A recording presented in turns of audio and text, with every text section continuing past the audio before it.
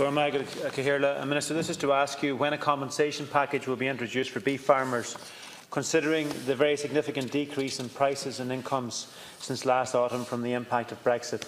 And also, Minister, to clarify from you whether a formal application has been submitted to the European uh, Commission for exceptional or market disturbance aid. And, uh, Minister, there seems to be conflicting stories in relation to exactly what you've applied for uh, and when you applied for it, and more importantly, when aid is going to come to the beef sector, which are crying out for it and desperately in need of it. And I hope this morning you will be able to take that opportunity to give an assurance uh, that there will be aid forthcoming promptly and also to give clarity in relation to what is being applied for. Thank you, Deputy Minister. Two minutes.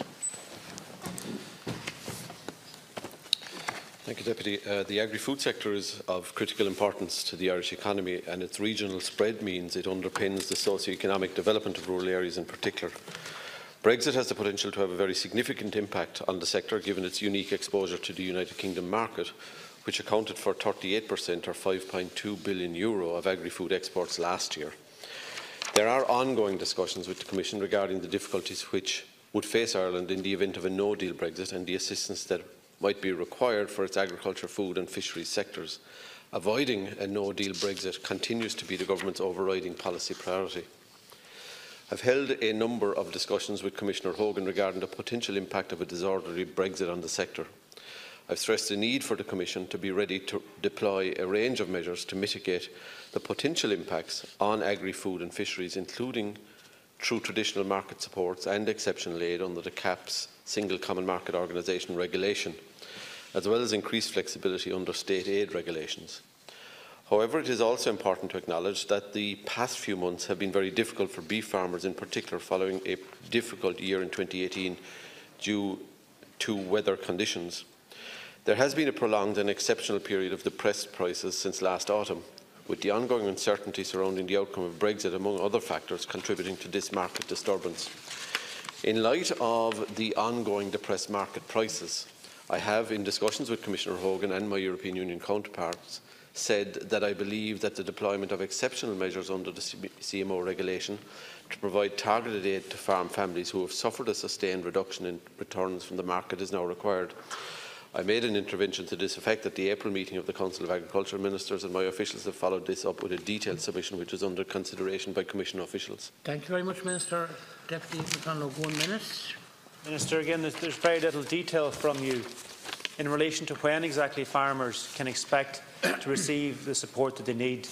And as you should well know, Minister, farmers needed this support months ago, not, um, in the, not in the next number of weeks or months, because Brexit has been happening and impacting on the beef sector over the last period of time. Unfortunately, you and the government have not been recognising this and have not been acting on it. And despite the grave threat posed, posed by Brexit, you haven't used that opportunity and that uh, difficulty to ensure that we are drawing down funds from the European Commission to actually support our beef farmers. Your performance and the government's performance in this has simply been unacceptable as, and has been neglectful of the farming community and the massive pressure they're under.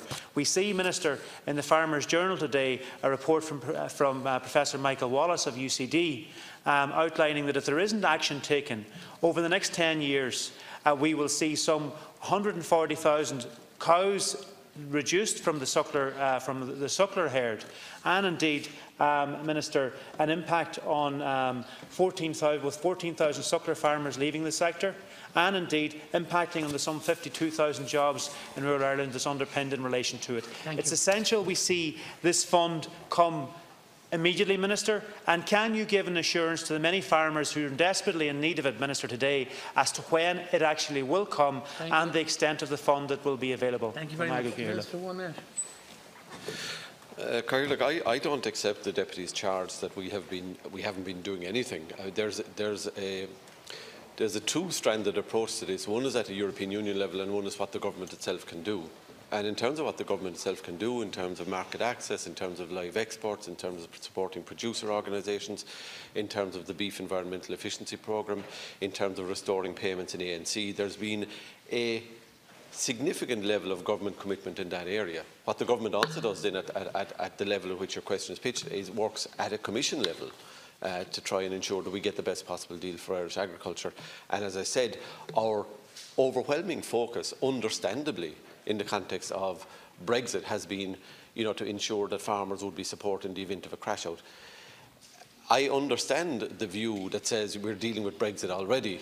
There is, you know, market sentiment, there is sterling issue, um, you know, and there is compounding that you have the issue of bad weather. So we have been making the case in recent times that apart altogether from the, the, supporter would be necessary in the context of Brexit, that there is a case to be made now for the Commission to respond to uh, in, in terms of the difficulties that the industry is facing. Thank you. One final minute, Deputy McConlogue.